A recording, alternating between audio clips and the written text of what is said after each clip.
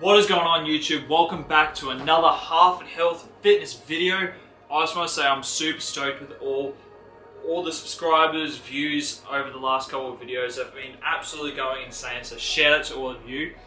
A follow up on our a video that I did not see going overly well is my unboxing of my very own Sony ZV-E10 Mark II. It's gone absolutely insane.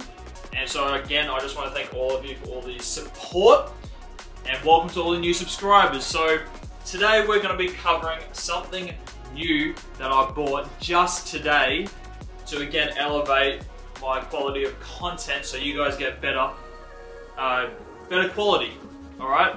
So I went out and got myself the um, Rode wireless uh, mic. Uh, I found that this mic that I'm using now is still slightly muffled most of the time. It's not super clear and I'm finding I'm actually literally yelling at the camera at you guys and I don't want to be like that. So I'm going to get my first reaction from this.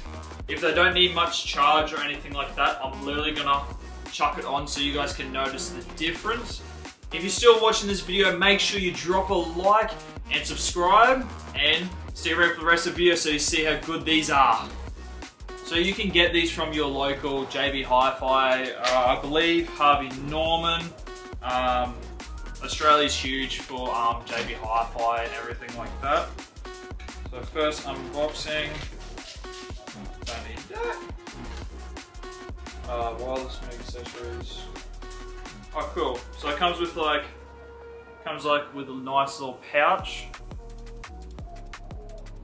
That you get to um, stack your accessories in.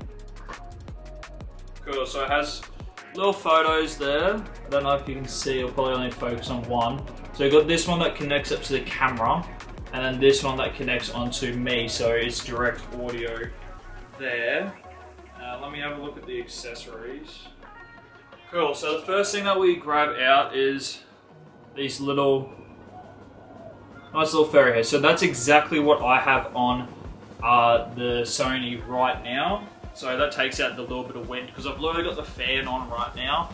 Uh, in Australia it's started to heat up a little bit even though we're still in winter. Um, that's just Australia. So next accessory that we have I believe is the connector to the camera.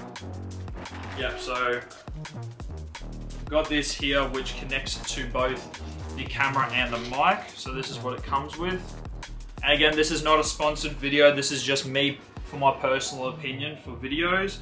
Um, I've, I've heard, I only, I, out of all the videos I've watched over YouTube, even over TikTok and that, they, they're using these and the quality of audio is insane. So yeah, that's what we got there. Nice good little connector. And I believe I saw,